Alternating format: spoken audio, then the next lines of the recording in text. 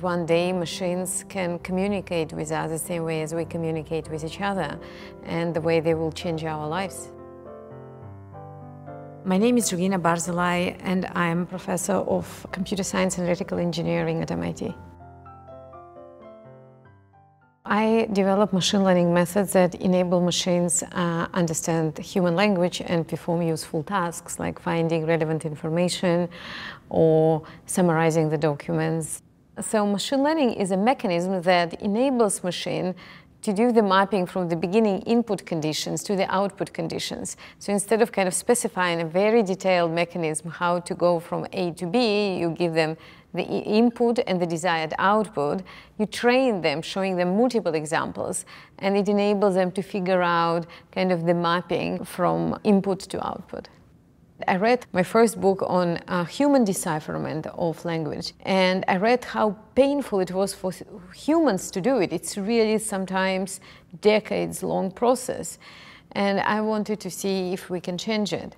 And that's what inspired us to look at Ugaritic. And obviously, there are some cases where you don't have uh, enough data. In Ugaritic, you do have enough data and uh, it is belongs to the same Semitic languages as Hebrew. So machines, if you structure the model appropriately, can learn the patterns and identify how the alphabets map to each other and how the related words from these alphabets can be mapped, and that would uh, enable us to solve this uh, model.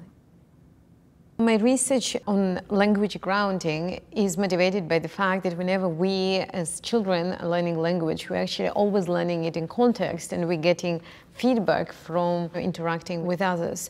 So we started looking at the virtual environment where the semantic of language actually is pretty much defined in the actions that you take. It could be the actions that you take in a strategy game like Civilization, it means that you actually, if you understood the instruction, you solved them correctly.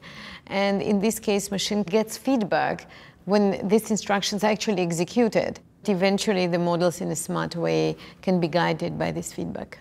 I got breast cancer three years ago, and when I went through the treatment, I noticed we don't utilize data at all. So what we did was take the three decades of pathology reports of women who were screened and translated them into databases. I think it would contribute to both preventative methods and also for overtreatment. We are looking at creating models that can read mammograms and predict whether the woman who doesn't have currently cancer, whose mammogram is totally normal, what are her chances to get cancer in five years.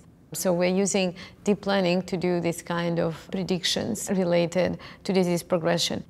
Despite the fact that you know it's clear to me and it's clear to people at MIT that machine learning can really revolutionize this work, this award would help me to continue to do research on cancer and enable me to move this direction forward.